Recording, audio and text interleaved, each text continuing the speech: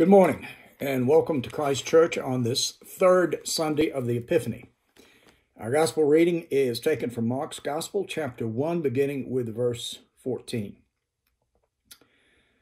Now, after John had been taken into custody, Jesus came into Galilee, preaching the gospel of God and saying, The time is fulfilled. The kingdom of God is at hand. Repent and believe in the gospel. As he was going along by the Sea of Galilee, he saw Simon and Andrew, the brother of Simon, casting a net into the sea, for they were fishermen. And Jesus said to them, Follow me, and I will make you fishers of men. Immediately they left their nets and followed him. Going on a little farther, he saw James, the son of Zebedee, and John, his brother, who were also in the boat mending their nets. Immediately, Jesus called them, and they left their father Zebedee in the boat with the hired servants and went away to follow him. This is the gospel of Christ. I want to talk this morning about covenant. And covenant is a concept that I confess I had no knowledge of growing up in the Episcopal Church. I think probably those of you who come from Presbyterian backgrounds will have a better idea of covenant than most of us Episcopalians had. But covenant was something I didn't understand, uh, was never explained to me, and until I began to read the scripture for myself, I didn't realize what a covenant was. But we find several covenants in scripture. Uh, we have the covenant that God made with Noah. We have the covenant that God made with Abraham. We have the covenant that God made with Moses on Mount Sinai. We have the promise prophetically in Jeremiah 31 of the new covenant that God will make with the house of Israel and with the house of Judah. And we have Jesus at the Last Supper proclaiming that that new covenant will be inaugurated through his death on the cross the next day. So, Scripture is full of covenant. I want us to think about what a covenant is. Well, a covenant is something that God initiates. We don't go to God and say, God, I would like to uh, have an agreement with you. God is the one who is the initiator of the covenant. He is the one who guarantees the covenant because he is the only one who has the power to guarantee the covenant. And this is based upon the fact that number one, he's got the power, but number two, God is faithful. He never fails to fulfill his word. So when God offers a covenant or presents a covenant to be entered into, he is the one who initiates that, but he's the one who guarantees that, and he is the one who will see that covenant through until the end. In our Old Testament reading from Jeremiah today, uh, we have the, the reminder of Israel's faithlessness and the fact that even though God had made a covenant, both with Abraham and later with Moses, that Israel was not faithful to that covenant, that they had turned their backs on God, that they had backslidden and uh, were in need of, of returning to the Lord we're in need of repentance. And at the beginning of uh, chapter 4 of Jeremiah, we read today, If you will return, O Israel, declares the Lord, then you should return to me. And if you will put away your detested things, that is the idolatrous practice that they had adopted, the, if you will put those things away from my presence and will not waver, and you will swear as the Lord lives in truth, in justice, and in righteousness. Then the nations will bless themselves in him, and in him they will glory. So the Lord is calling Israel to repentance. Israel had um, outwardly trusted in the sign of the covenant, which was given to Abraham when God made that covenant with Abraham. And what was that sign? Have to go back to Genesis chapter 17. That sign was uh, circumcision. and it was outward and visible. You know, the definition of a sacrament in the 39 articles is an outward and visible sign of an inward and spiritual grace. So in the old covenant, the, the sign, the symbol, the sacrament was circumcision. But that wasn't enough. Because what God was interested in was not just an outward sign, but he was more interested in the inward and spiritual grace. Now, if you've joined us on Tuesday night, I'm going to make a plug for Tuesday night. Please join us. We send out an email on Tuesday mornings inviting everyone to come. It's done on Zoom, and we are in the book of Romans, which is probably, if you had to pick one book of the Bible to say this one book has been the most influential on human history, it would be Romans. Because in Romans, Paul goes into a great deal of detail about covenant, about the covenant that God made with Abraham, which preceded the covenant of the law, the giving of the law on Mount Sinai to Moses. And the basis of this covenant was Abraham's response in faith. Abraham believed God, we're told in Genesis 12, and it was reckoned to him or counted toward him as righteousness. So it was the fact that, that Abraham, who didn't have any of the things that we've got, he didn't have a Bible, he didn't have a, a faithful community to relate to, he simply had the call of God. But he believed, he trusted, he responded in faith, and he set out from his home into the unknown. He was responding to God's call. And God said, I will lead you and show you the place that I have given to you and to your descendants. So Abraham has ups and downs in his faith relationship with God. And one of the downs was when he got tired of waiting on God. God had promised him a son who would be the heir of the covenant. And Abraham was getting old. Sarah was old, past the age of childbearing. And Abraham said, this is not going to work. And so with agreement of his wife, Sarah, he goes into his, his maid, Hagar, and they produce a son called Ishmael. Ishmael was not the child of the promise. He was the child of Abraham's impatience and in a sense of Abraham's faithlessness. So in Genesis chapter 17, Abraham must be thinking, you know, Ishmael is, is uh, the child who will inherit everything. He's 99 years old. And the Lord appears to Abraham again. And he said, I am God Almighty. Walk before me and be blameless. I will establish my covenant. That's the covenant that he made with him in Genesis chapter 12. Between me and you. And I will multiply you exceedingly. Abram fell on his face, and God talked with him, saying, As for me, behold, my covenant is with you. And you will be a father of a multitude of nations.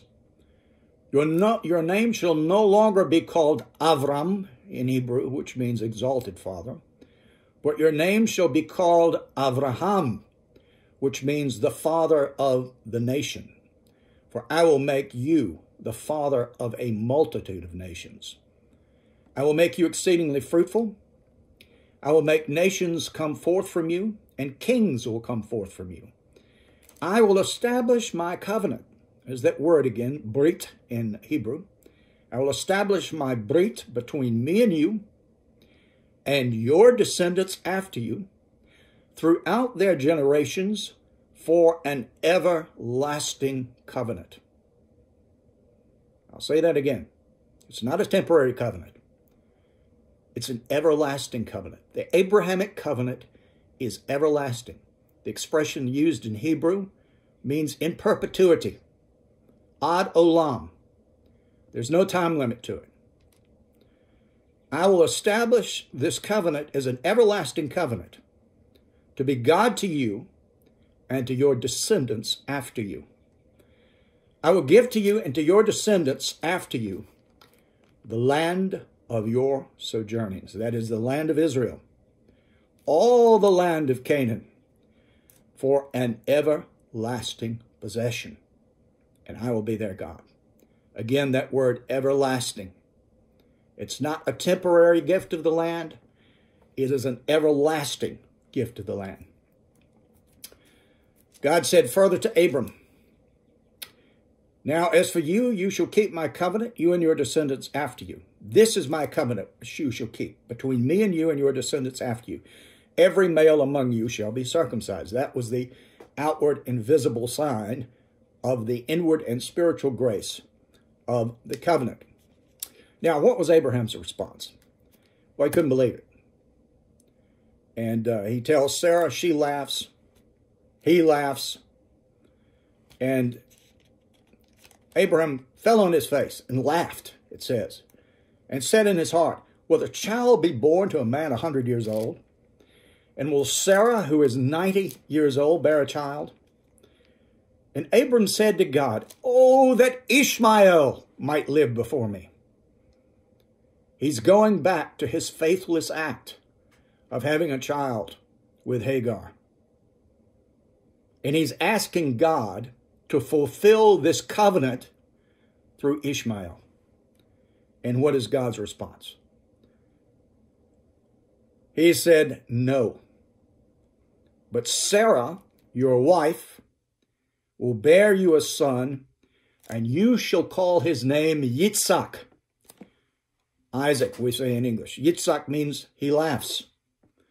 And I will establish my covenant with him as an everlasting covenant. Again, ad olam, in perpetuity, for his descendants after him.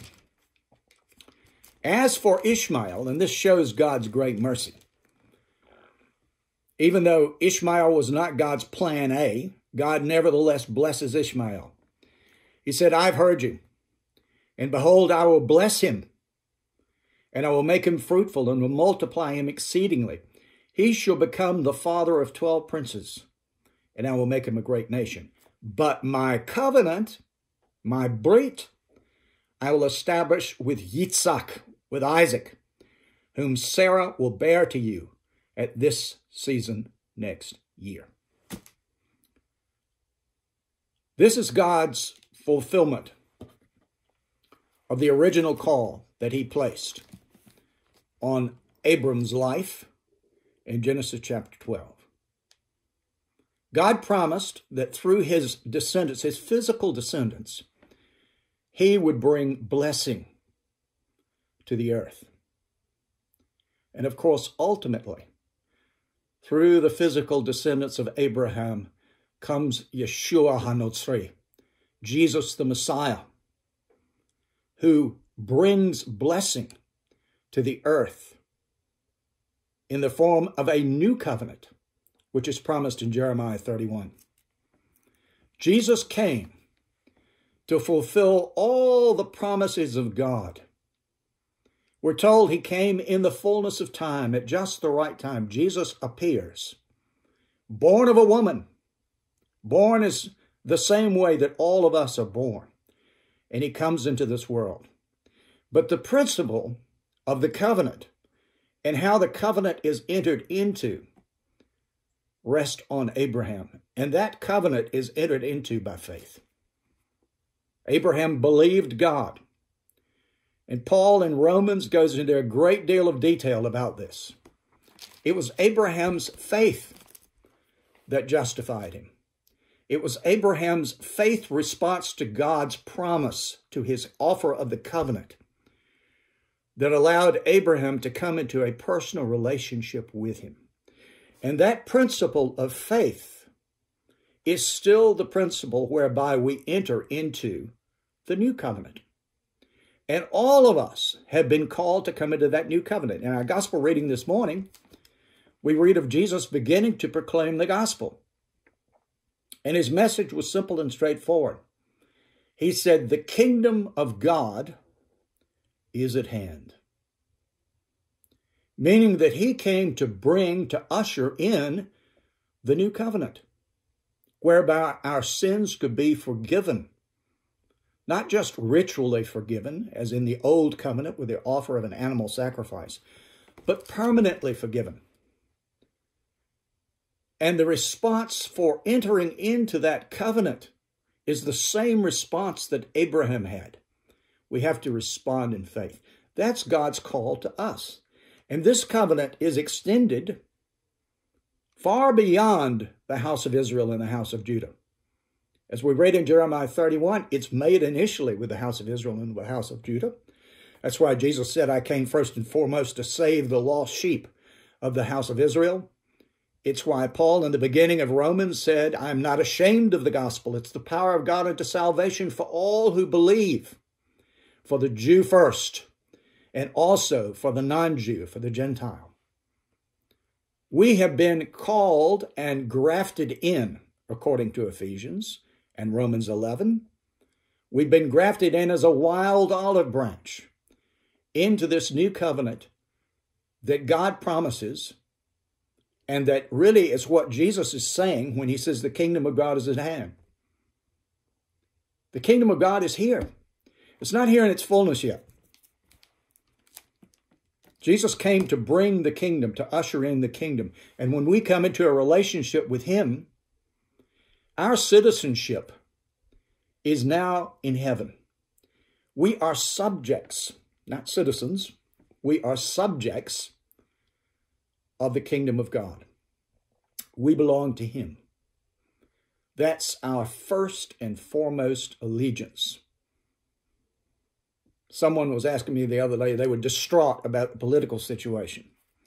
We're not to be distraught about anything in this world because our citizenship or our subjectship is in heaven. We belong to another kingdom. And that citizenship, that subjectship, cannot be taken away. It's permanent.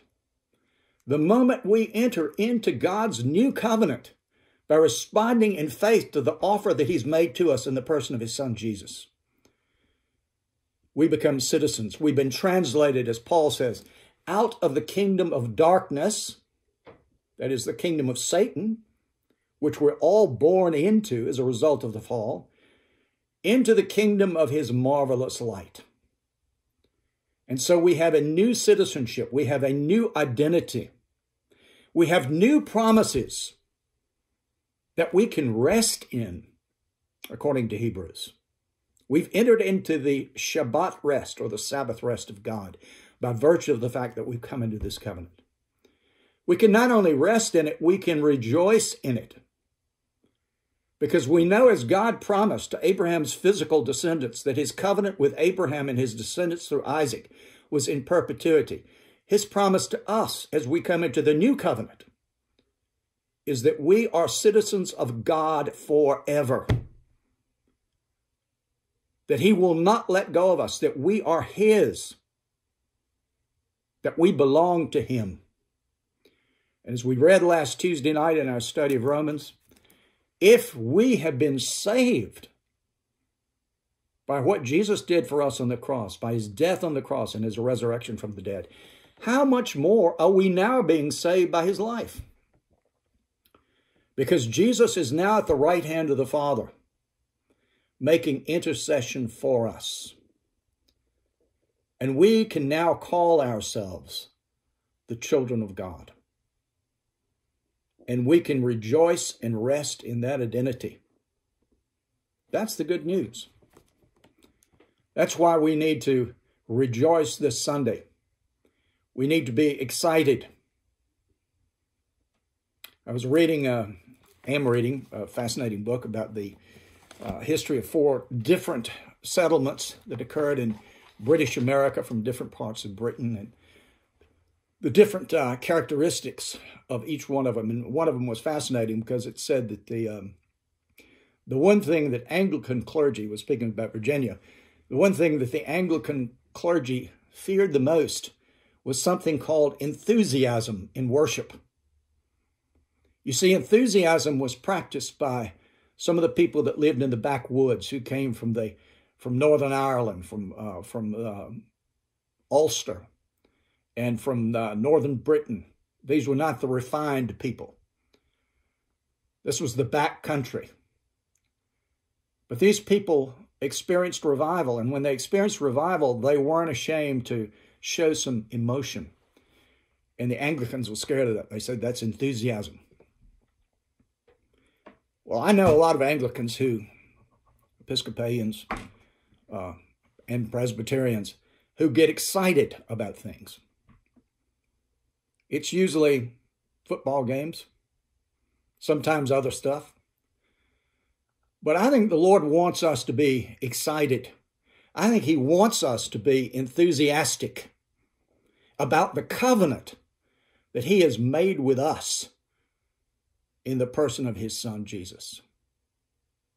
That we can rejoice in that, we can celebrate that. And that's what we do every Sunday morning. We do something called the Eucharist, which in Greek means thanksgiving. We're offering thanks to God we're praising him for who he is and what he's done for us in the person of his son, Jesus. That's what true worship is.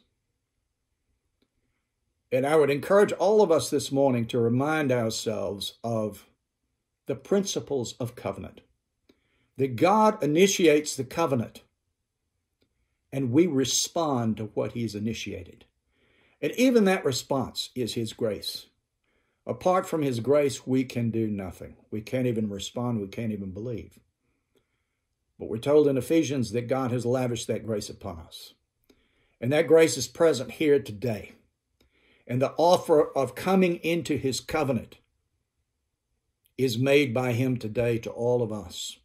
And just as He was calling out to Israel, who had come into that covenant but wandered away from it, he calls out to us today that if we've wandered away, if our love has grown cold, if we've found it hard to believe, and all of us go through those times when we find it hard to believe and we, we feel like God is far away, far removed from us, but He never leaves us. He said, I will never leave you or forsake you. So He's with us here today, and he, He's calling us to come home. He's calling us to return as He called Israel into that covenant relationship with Him, which He has secured for us through the blood of His Son, Jesus. Amen.